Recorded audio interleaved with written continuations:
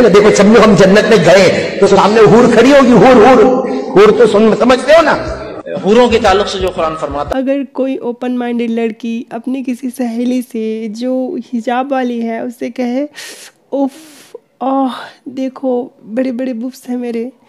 तो हमारे माशरे के जो ठेकेदार औरतें हैं, जो हमेशा बुरका करती रहती हैं वो कहेंगे कि ये लड़की बेगैरत है, बेशरम है, बेहया है, जिस अल्लाह ने औरतों को पर्दे का हुक्म दिया है, तुम उस कौम में पैदा होकर ऐसी बेहुदा बात करती हो, शर्म नहीं आती।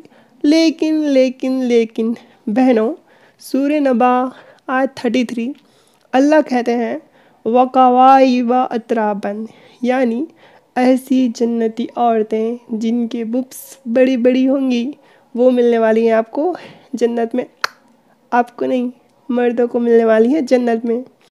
कुरान में शुद्ध अश्लीलता है, चौबीस कैरेट वाला। और जिन मुस्लिम लड़कों को ये लगता है कि कुरान में अश्लीलता नहीं है, उनसे मेरा एक चैलेंज है कि वो अपनी अपी और अम्मी को सामने बिठा लें और सूर्य नबा थर्टी थ्री तर्जुमे के साथ पढ़ के बताएँ कि कैसे अल्लाह पाक उन्हें जन्नत में बड़ी बड़ी बुप्स वाली लड़कियाँ देने वाली हैं जो हमेशा कुंवारी रहेंगी।